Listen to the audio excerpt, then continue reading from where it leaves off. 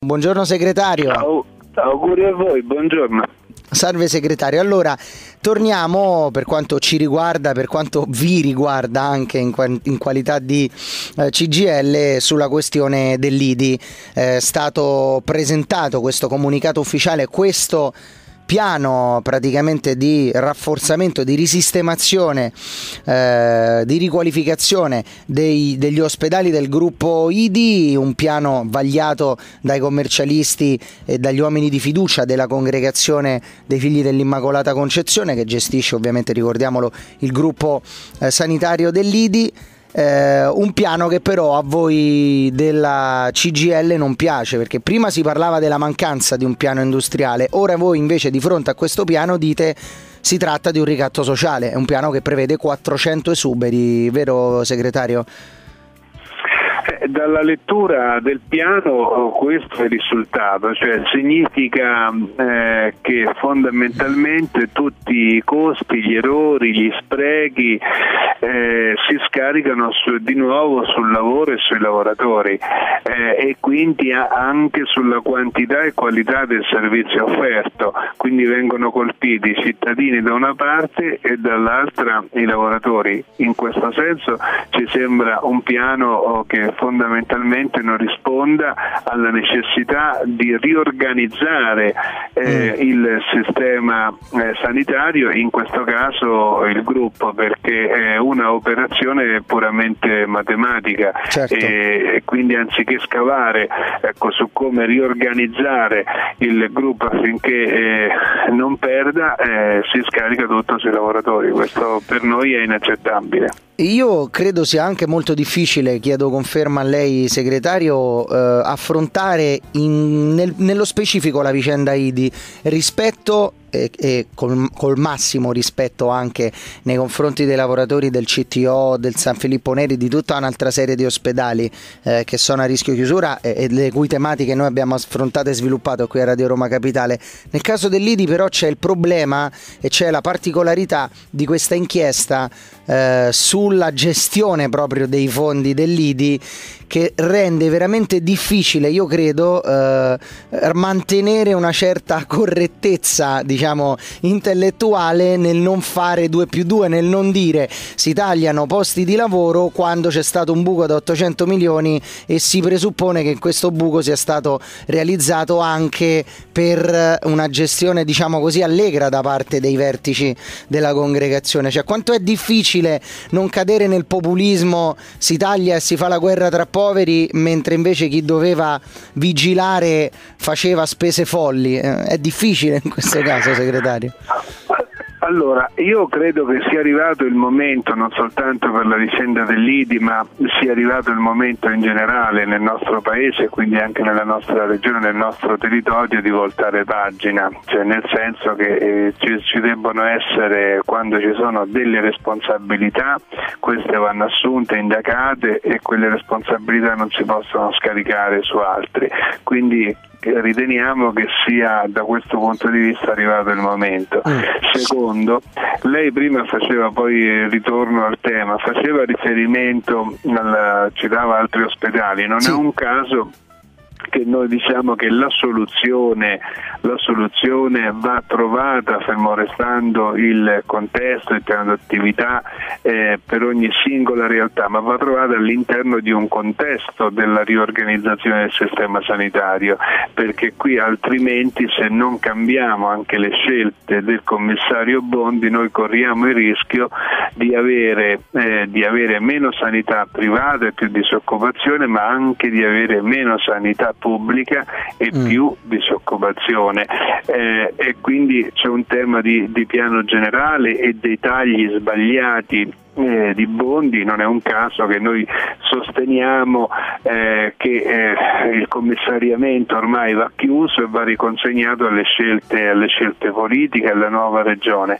Eh, per quanto riguarda l'inchiesta eh, sull'IDI, chiaramente noi eh, invitiamo, sollecitiamo e confidiamo anche in questo lavoro eh, della magistratura, ma intanto sarebbe utile e opportuno che al di là di questo lavoro della magistratura che certamente sarà importante per i risultati che fornirà, eh, eh, ma intanto ci sia un'azione di responsabilità e di vigilanza interna capace di far emergere quali sono queste responsabilità dentro la stessa, non si aspetti soltanto la magistratura. Per questo senza populismo, senza populismo sì, ma con certo. una dose di realtà, ecco, riteniamo che oggettivamente i lavoratori hanno già dato, hanno lavorato in questi mesi, hanno garantito le prestazioni senza prendere lo stipendio. Credo quindi che ora occorre un po' corra che anche altri facciano, uh, ci mettano qualcosa. Mi permetto di dire tra l'altro, segretario Di Berardino, che la specificità e la valenza del caso dell'IDI è tale che ieri c'è stata anche questa visita del vostro segretario generale, noi abbiamo raccontato anche in diretta ieri sì. sera eh, quanto sì. avvenuto con la visita di Susanna Camusso proprio ieri al, sì. In via Mon- dei Monti di Creta, proprio no, nella sede dell'IDI. Non è, non è un caso la presenza ieri eh, della Camuzzo perché la vicenda della sanità nel Lazio eh, assume sempre più assunto anche toni e caratteristiche nazionali, non certo. è solo una, eh, una testimonianza, eh, ma voleva essere il segno ecco, di come la CGL e quindi il sindacato intorno al tema della sanità eh, svilupperà la propria iniziativa eh, per quello che gli è possibile, per quelle che sono le nostre funzioni, ma certamente noi non ci rassegniamo ad una condizione di tagli dei posti di lavoro e ad una diminuzione del servizio sanitario. Ecco, questo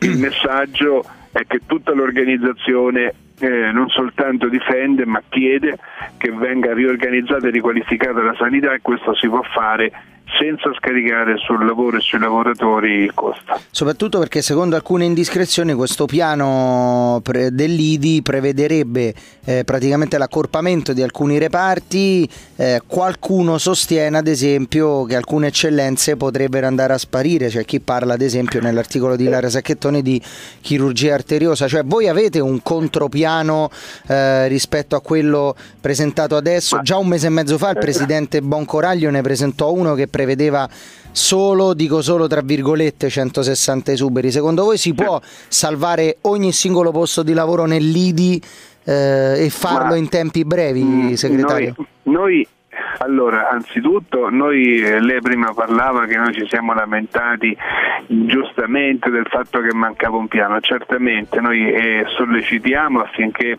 eh, ci sia una rapida anche discussione però del piano, perché eh, il piano è stato illustrato dai professori, il piano non possono essere solo slide ed immagini, eh, il piano deve essere un qualcosa che eh, deve misurarsi sull'offerta, deve misurarsi sulla necessità di non cancellare le eccellenze, di non eh, quindi indebolire eh, la qualità eh, del servizio e deve misurarsi anche sul lavoro e sulle sue condizioni.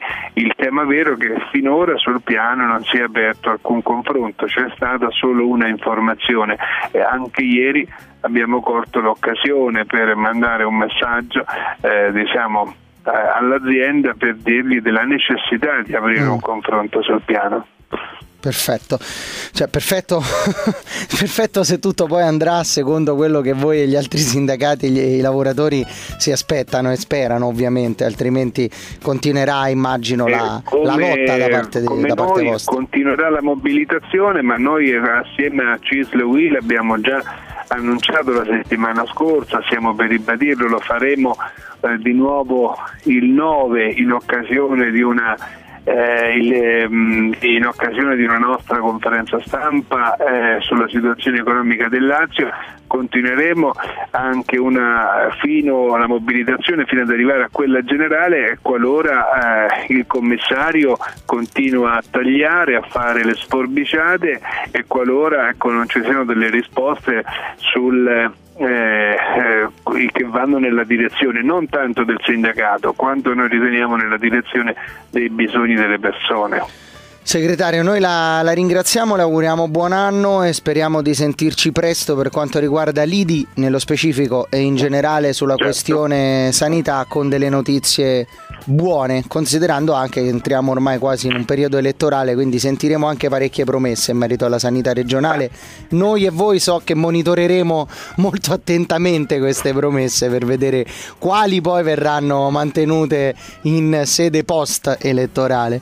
Segretario, la, la, la ringraziamo. Sì. Arrivederci, buon grazie lavoro. A voi, buongiorno, grazie. Arrivederci, ringraziamo Claudio Di Berardino, segretario CGL di Roma e Lazio, intervenuto ai microfoni di Radio Roma Capitale.